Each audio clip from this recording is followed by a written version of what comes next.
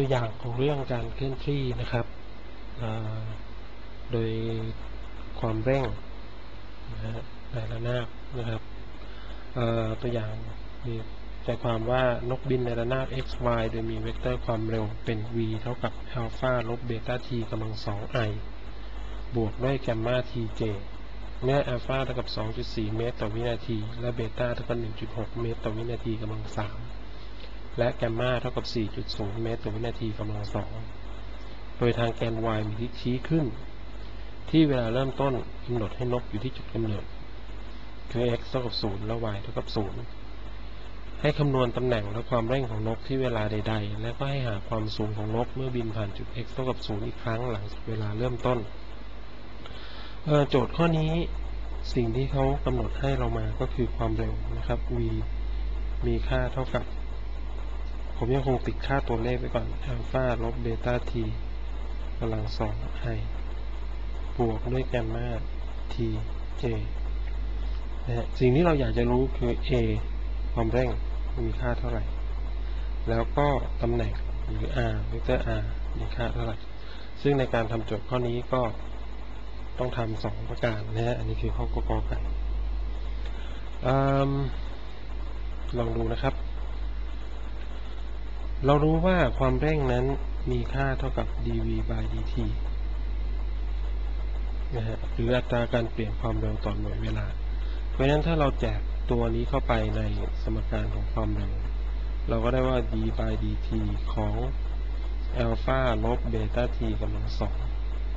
เนี่ยทั้งหมดนี่อยู่ในทิศ i บวกกับ d by dt ของแกมมา t ทั้งหมดนี้อยู่ในทิศ j นะครับเราก็ต้องหาอนุพันธ์ของแต่ละเทอมนะครับ ในเทอมแรกเนี่ยอนุพันธ์ของอัลฟาซึ่งเป็นค่าคงที่เนี่ยมีค่าเท่ากับศูนย์แต่อนุพันธ์ของเบต้า t กำลังสองเนี่ยซึ่งมีค่าขึ้นอยู่กับ t กำลังสองเนี่ยเราก็จะได้ลบเบต้าอนุพันธ์ของ t กำลังสองได้สอง t นะฮะเพราะฉะนั้นนี่คือ component ในทิศ i บวกกับอนุพันธ์ของเทอมหลังนะครับแกมมา t เนี่ยได้แกมมาออกมาดึงตัวร่วมออกมาดิฟดิฟ t dt ไป dt เนี่ยได้หนึ่งนะครับเพราะฉะนั้นตัวนี้ได้แกมมาเจนะครับเพราะฉะนั้นความเร่งก็จะมีคิดลบ2เบต้าทีไอบวกแกมมาเจเมตรต่อวินาทีกำลังสองอันนี้ต้องต้องไม่ลืมหน่วยนะฮะความเร็วคือเมตรต่อวินาที นะฮะเพราะฉะนั้นนี่คือความเร่งที่เวลาทีใดๆนะครับ ข้อสังเกตนิดหนึ่งเนื่องจากความเร่งตัวนี้เนี่ยขึ้นอยู่กับเวลานะฮะความเร่งตัวนี้เนี่ยไม่คงที่นะครับความเร่งตัวนี้ไม่คงที่ต่อมาคำถามถัดไปก็คือถามว่าเราจะหารัศมีได้ยังไงนะครับ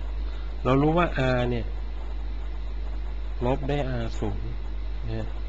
จะมีค่าเท่ากับอินทิเกรตตั้งแต่0ถึง t ของ v dt อันนี้มาจากไหนมาจาก dr by dt เท่ากับ v นะฮะแล้วก็แทนค่า dr เท่ากับ v dt แล้วทำการอินทิเกรตนะครับก็โจทย์กำหนดให้ที่ t เท่ากับ 0 เนี่ย r เท่ากับ 0 คือ r 0เนี่ยก็เลยมีค่าเท่ากับ0นะครับ 0i บวก 0j ทั้งหมดเป็น0นะฮะเพราะฉะนั้นสมการนี้เราก็ลดลงเหลือรูปเลยแค่ r เวกเตอร์ r ใดๆเนี่ยเท่ากับอินทิเกรตตั้งแต่0ถึง t ของอะไร ของอัลฟาลบเบต้า t กำลังสอง i บวกด้วยแกมมา t j นะฮะ dt เราก็ต้องนำตัวนี้มาอินทิเกรตนะครับ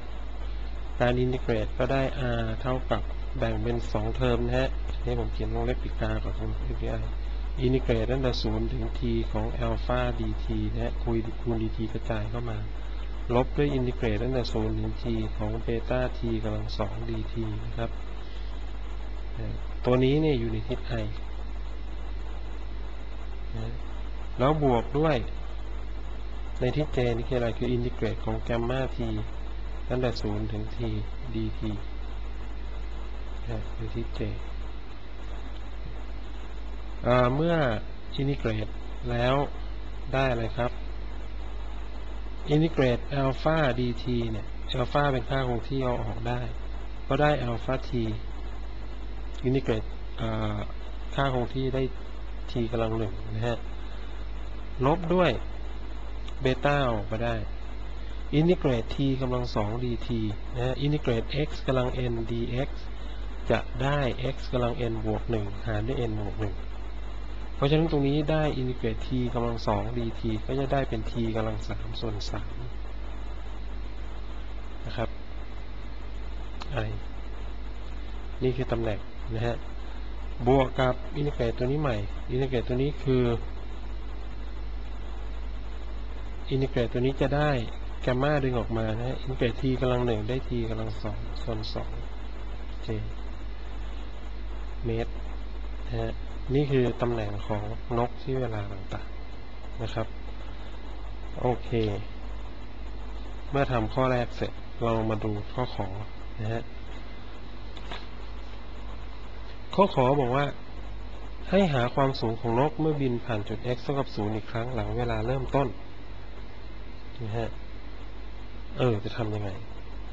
เมื่อกี้จากข้อกอฮะค่า r เนี่ย มีค่าเท่ากับอัลฟา t ลบเบต้า t กำลังสามส่วนสาม i บวกด้วยแกมมา t กำลังสองส่วนสอง j นะฮะเมตร เขาบอกว่า จะกลับมาบินผ่านจุด x เท่ากับ 0 อีกครั้งหลังเวลาเริ่มต้น และให้หาความสูงของนก x เนี่ย ที่ตำแหน่งทางแกน x ใดๆของนกเนี่ยมีค่าเท่ากับ alpha t ลบด้วยเบต้า t กำลังสามส่วนสามถ้ามันกลับมาอยู่ที่ x เท่ากับ 0 เราก็ได้ว่า 0 เท่ากับ alpha t ลบเบต้า t กำลังสามส่วนสามซึ่งผมจะตัดค่านี้ได้